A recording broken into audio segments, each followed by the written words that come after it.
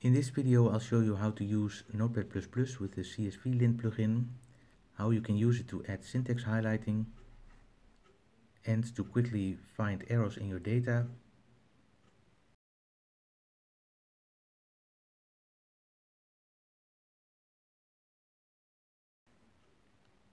and some of the other things the plugin can do.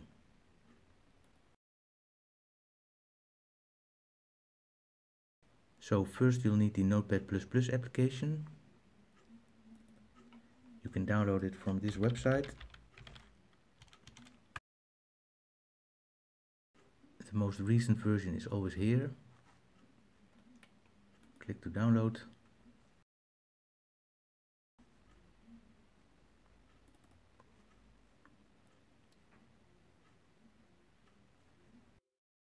Once it's installed, open it and you need to install the CSVLint plugin. You go to the plugins menu and select plugins admin. You can search for CSVLint, check the checkbox and press install. So click yes. After Notepad has restarted, the CSVLint plugin is available in the plugins menu and also in the toolbar here. Okay, now that the CSVLint plugin is installed, first let's open some example files. These are typical CSV files, many lines of text. Now the first thing the plugin can do is add syntax highlighting. This will give each column a different color. For larger files this can take a few seconds. As you can see, this makes the data file a bit easier to read. Same for this one. And this one.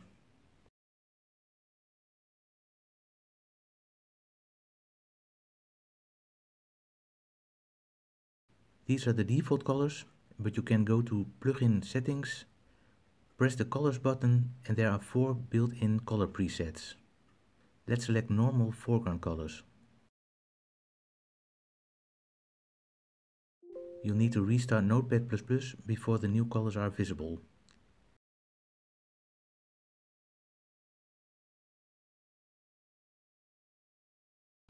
Now only the texts are in color and the background is just white. There are also two presets for dark mode.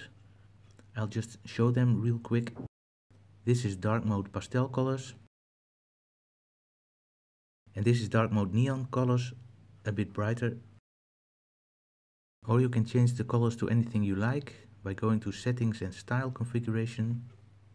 Select CSV lint, it should be all the way at the bottom. There are 8 column colors.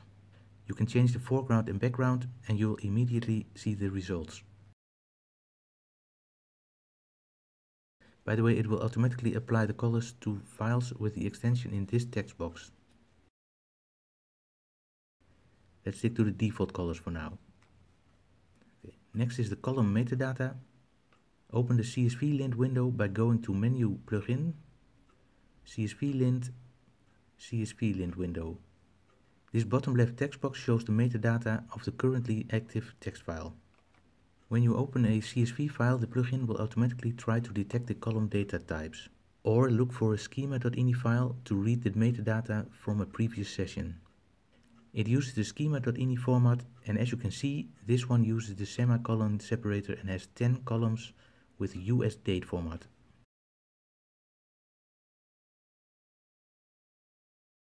And this one has comma separated values with 8 columns and European date format. And this one uses vertical bars.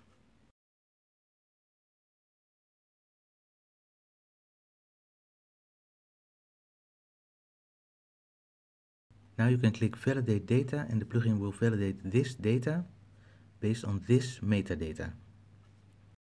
It will list any errors in this text box on the right. You can double click to jump to the line with the error value. This looks like a data entry error, should probably be 1972. And these commas should be a point. And these date values are incorrect because it doesn't correspond with the date format here.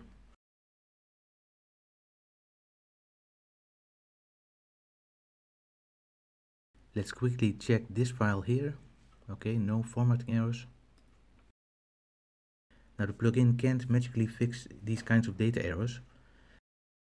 You can either manually edit the data or maybe send it back to whoever provided the data and ask them to fix it. Going back to this data file, the date values are all in US date format, month, day, year. Let's say you want them all in ISO format, so year, month, day. You can do that by pressing Reformat. Check the date time format and select a format. And press OK. Now all date values are in the year, month, day format. This doesn't fix the data errors, those are still here. In this file, the upper and lower blood pressure values are in one column. Usually you want them in two separate columns. You can do that by pressing the split column button, select the column you want to split, select split on character and enter a slash. You can check remove original column if you only want the resulting two new columns. Let's uncheck that and press OK. Now it has created two new columns split on this slash character. The column with the original value is also still there. In this file, the column with the visit date also contains text, which are invalid date values. It's probably easier to have all the no-show text in a separate column. You can do that by pressing split column button, select the column visit date, select split valid and invalid values. Let's check remove original column and press OK. Now it has created two new columns, one with just the date values and one with the text values. The original column has been removed. The CSV-Lint plugin has some more features. Analyze Data Report will analyze the data and list summary information per column. This can be useful to quickly detect any issues with the data, for example mixed data types, unexpected coded values, or values that are out of range. You can also convert the entire dataset to a database insert script, which can be useful for importing data into a database. So that's it for now. You can find more information on this page. Are there any features you would like to see added to this plugin? Let me know in the comments.